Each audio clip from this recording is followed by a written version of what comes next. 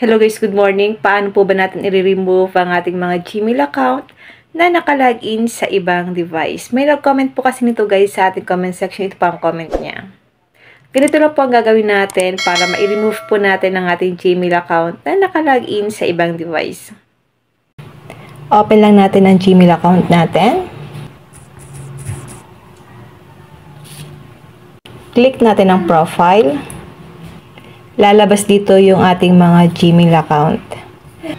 Piliin nyo lang po yung Gmail account nyo na kung saan nakalagin ito sa ibang device. Halimbawa guys ito, click lang natin ito. Click ulit natin ang profile. Click Google account. Swipe natin pa left, click po natin ang security. Hanapin niyo po dyan ang your devices where you're sign in. Click natin ito.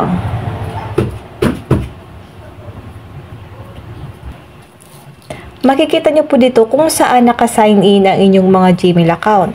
Sa akin po, meron akong tatlong device dito kung saan naka-sign in ang aking Gmail account.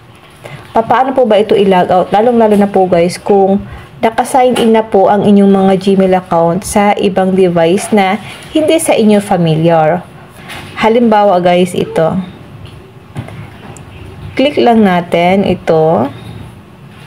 Makikita nyo po dito na may nakalagay na recent activity. Meron din po yan dyan nakalagay kung saan. Philippines, then meron din siya date. Ngayon guys, click natin ang sign out. Sign out on Oppo. This will remove access to your Google account from the device. So, click lang po natin ang sign out para ma-remove siya doon sa device na hindi po sa atin familiar.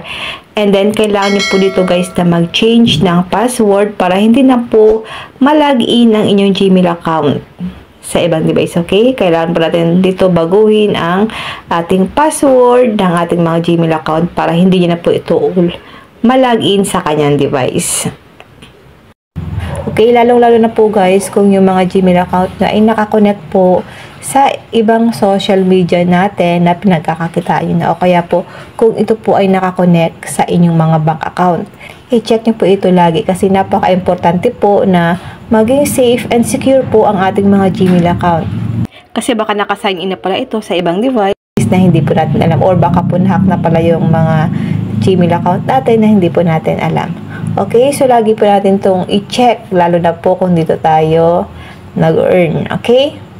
So, yun lang guys. Sana po may natutunan kayo sa aking video. And now, thank you for watching. God bless you all.